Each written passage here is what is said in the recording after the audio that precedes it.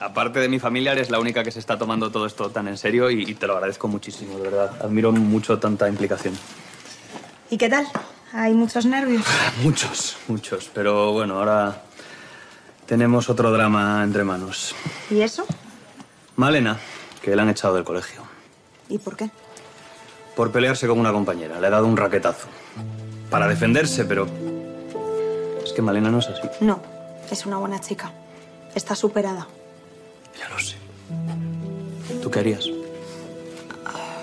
Pues mm, intentaría escucharla más y quizá no ser tan duros con ella.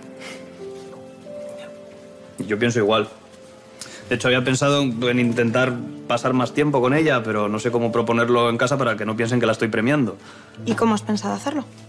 ¿Te acuerdas lo que habíamos hablado? Que quiero retomar las cosas que me hacen feliz y... ¿Sí? Pues una de las cosas que me gustaba hacer era ir a la montaña. ¿En serio? No te pega nada. Eh, no soy tan soso como tú te crees. No, ya lo sé. Y bueno, había pensado que algo así a Malena le podría venir muy bien. Salir de casa, respirar aire puro.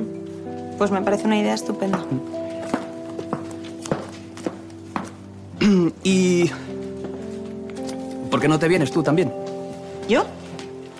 Eh, Como Malena te adora, Bueno, no soy yo muy de montaña. ya ni ella por eso, que seguramente no quiere venir sola con el carca de su hermano, pero contigo se anima seguro.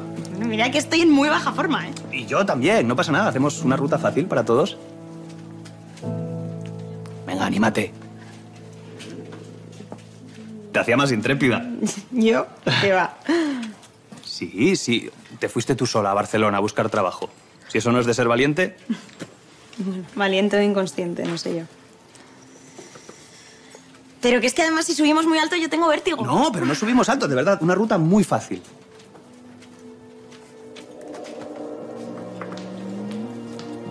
Tú misma me puedo pasar aquí toda la mañana, hasta convencerte. Está bien, me apunto. ¿Sí? Estupendo. Pues, eh, bueno, nada, lo hablo y ya, ya te digo cuándo vamos. Y te dejo trabajar.